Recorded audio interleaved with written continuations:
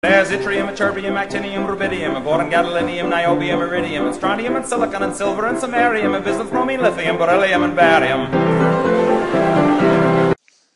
Welcome to the past HSC exam question video. In this video I'm going to cover the past HSC multiple choice questions from the nuclear chemistry chapter.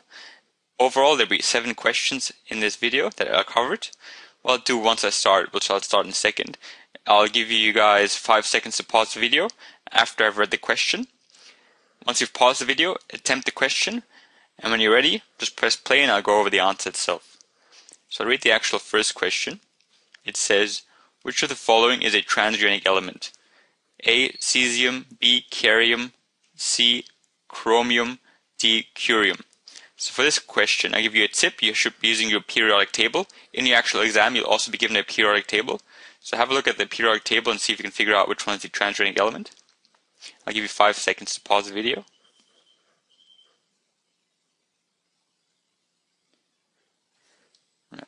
I'm back. Uh, the correct answer was curium.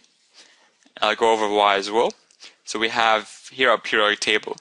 Now you have to look at the actual atomic number and see if it's less than 90, more than 93, that's a transuranic element. So we have curium, which is 96, so that's a transuranic element. We're also given cerium, which is 58, that's not a transuranic element. We've got cesium, which is um, 55, also not a transuranic element. And chromium, which is 24, also not a transuranic element. So from all these ones were given, only curium had atomic number of greater than 92, which has to be the case for it to be a transuranic element. So curium was a transuranic element, whereas the other ones were not.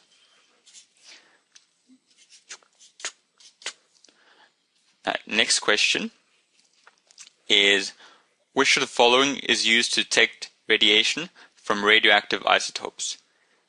A. pH meter, B. Geiger counter, C. Ion selective electrode, or D. Atomic absorption spectrophotometer. Again, I'll give you five seconds to try to answer the question, and then when you're ready, just press play.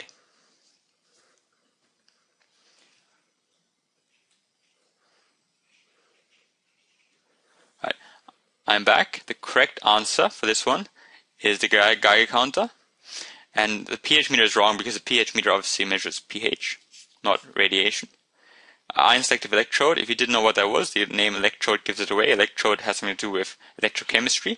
So it's to do with measuring voltage. That's also wrong. And the atomic absorption spectrometer is used to detect chemicals in, in samples, not to do with radiation. So D is also wrong. So the correct one was B, counter. And that was video number two that covers um, types of instruments that help detect radiation. So next question is this one. Which of the following conditions will produce a radioactive isotope? A. Too many atoms in the sample provided. B. Too many protons and neutrons in the atom. C. Too many electrons in the outer shell of the atom. Or D too many electrons for the number of neutrons in the atom. So I'm going to give you five seconds to pause the video.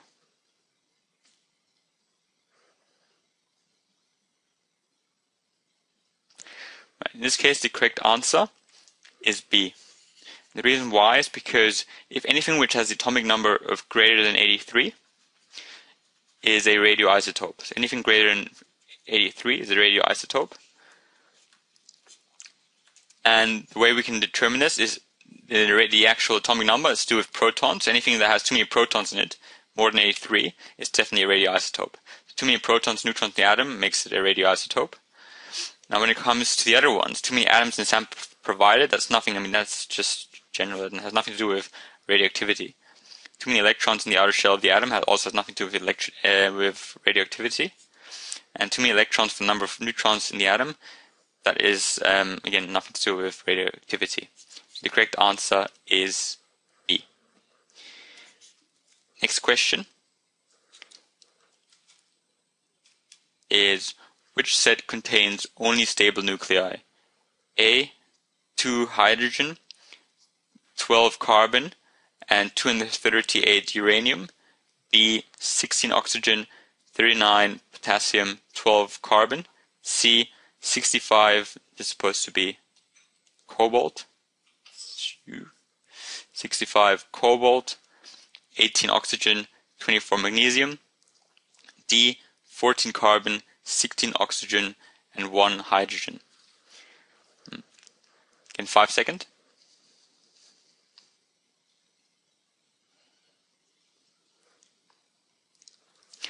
Alright, so the correct answer is B. The reason why B is correct is because the other ones, if we have a look at the other ones, um, here we have uranium. Uranium is most definitely a radioisotope, so it's not stable because it has atomic number of 92 that's greater than 83.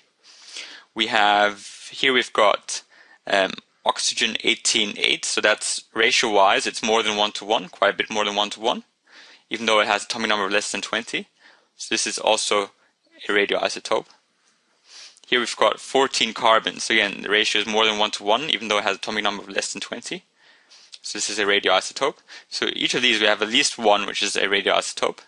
And if you have a look at the other ones, 16.8, that's a ratio 1 to 1, that's good. 12.6, that's ratio 1 to 1, that's good. And 1939, even though that's a tiny bit over 1 to 1, it's still more or less 1 to 1, so that's also good. So B is correct. Because in this case, they're all stable. Their atomic ratio of neutrons to protons is all one to one. Mm.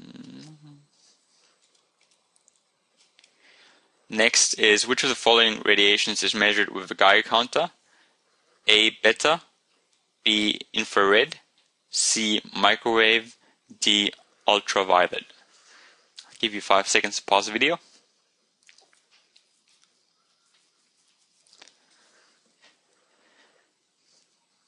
I'm back. Right, so in this case the correct answer is beta. And if you were confused, you didn't know exactly what they measured. I mean, Geiger counter measures both beta and gamma, but beta is the only type of radiation. The other ones aren't really radiation. I mean, you've got off infrared, microwave, and ultraviolet. The only real radiation that we've covered in the nuclear chemistry chapter is alpha, beta, and gamma. So this gives you a beta, so you can assume this one's correct, which is also true because the other ones are all incorrect. So beta is correct. Next question is Which of the following is an important factor in predicting nuclear stability of an isotope? A. The atomic radius, B. The nuclear radius, C. The ratio of neutrons to protons, D. The ratio of electrons to protons. I'll give you five seconds.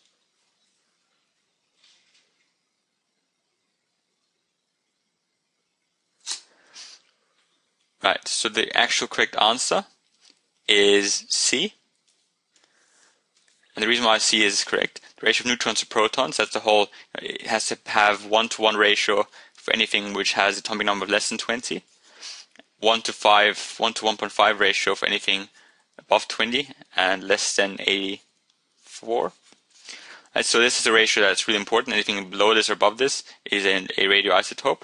The other ones, like for example, D is definitely completely incorrect. The ratio of electrons to protons has nothing to do with um, radioisotopes. Nuclear radius, that's how big the, the, radius is. This could be because obviously it has something to do with how many protons and neutrons it is. Some are related, but not that much, especially not compared to C. Atomic radius is also not not as much related to predicting nuclear stability compared to C. C is the obvious one. So C is correct. Next one is which of the following is an example of a transuranic element?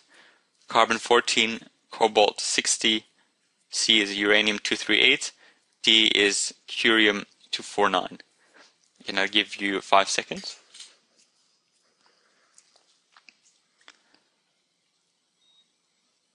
And I'm back, and the correct answer is curium.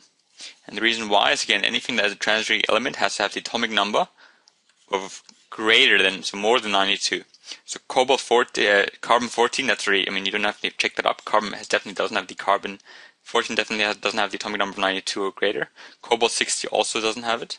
You can check it up, but it won't have it. So the only two left are these, U238 and, and curium 249. And U is actually uranium. So uranium is the last element with the of 92 that is not transuranic. Anything that is a transuranic element has to have the number greater than 92. In this case, curium has 96. So curium is the example of the transuranic element. And these kind of questions test your skills of using the periodic table. So make sure to know how to use the periodic table quite effectively because you'll get some questions like that in your exam as well. So hope that was overall useful. Thank you for watching.